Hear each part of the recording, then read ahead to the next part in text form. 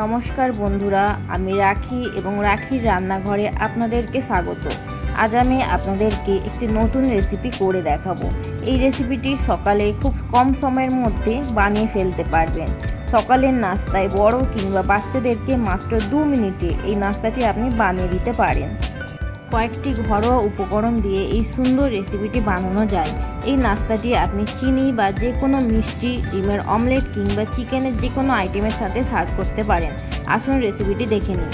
রেসিপিটি বানানোর জন্য আমি এখানে একটি পাত্রে এক কাপ পরিমাণ ময়দা হাফ কাপ পরিমাণ চালের গুঁড়ো হাফ কাপ সুজি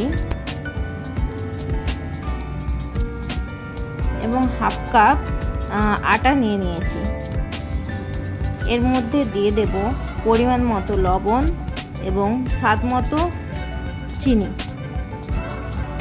এগুলোকে দিয়ে ভালোভাবে ময়দার মিশ্রণটিকে মাখিয়ে নেব।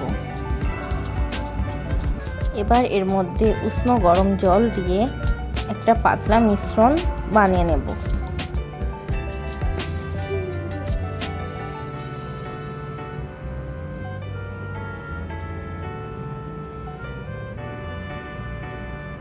মিশ্রণটি আমার বানানো হয়ে গিয়েছে। এবার এর মধ্যে এক চামচ পরিমাণ রিফাইন অয়েল দিয়ে ভালোভাবে মিশিয়ে নেব। ফ্রাইং প্যানে যাতে না ব্যাটারটা বসে যায়, সেই জন্য আমি রিফাইন অয়েলটা ইউজ করলাম। এবার গ্যাসে আমি একটি তাওয়া নিয়ে নিয়েছি। তার মধ্যে সামান্য পরিমাণ তেল গুলিয়ে নিলাম। তার মধ্যে চামচে করে এইভাবে বেটারটাকে দিয়ে চার সাইডে স্প্রেড করে নিতে হবে। বেটারের উপরে কাঁচা ভাবটা যখন মরে আসবে, তখন তার উপর এক চামচ তেল ছড়িয়ে নেব। এইভাবে বেটারের এক সাইডটা লাল হয়ে আসলে অপর সাইডটা উল্টে ভেজে নেব।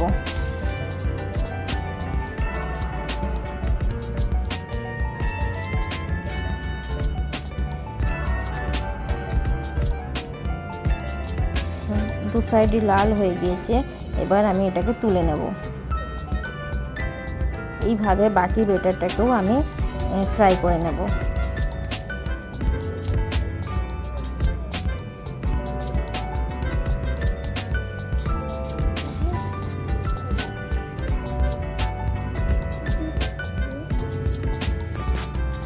এটি আপনারা সকালের নাস্তায় অবশ্যই বানাবেন। এবং রেসিপিটি কেমন হলো আমাকে অবশ্যই জানাবেন।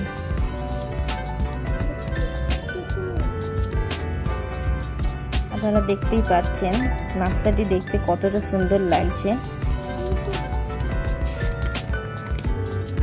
আমরা এই রেসিপিটিকে চাকলি বলে থাকি। এই রেসিপিটি যদি আপনাদের কারোর জানা হয়ে থাকে এবং এটাকে আপনারা কি নামে জানেন তা আমাকে কমেন্ট অবশ্যই জানাবেন। রেসিপিটি ভালো লেগে থাকলে লাইক শেয়ার ও কমেন্ট করে পাশে থাকবেন।